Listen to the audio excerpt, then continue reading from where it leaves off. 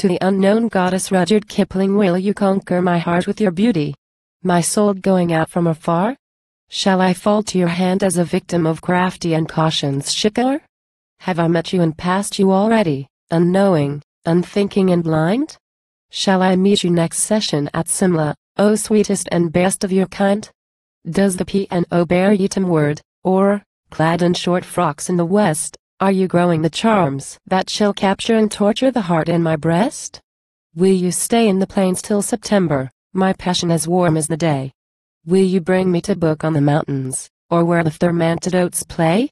When the light of your eyes shall make pallid the mean lesser lights I pursue, and the charm of your presence shall lure me from love of the gay and quo. 13-2 and quo.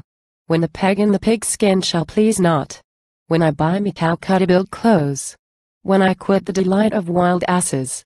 For rest wearing the swearing of oaths. As a deer to the hand of the hunter. When I turn mid the jibes of my friends. When the days of my freedom are numbered, and the life of the bachelor ends. Ah, goddess.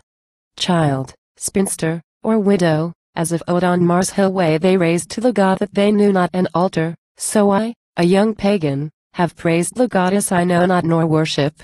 Yet, if half that men tell me be true, you will come in the future, and therefore these verses are written to you.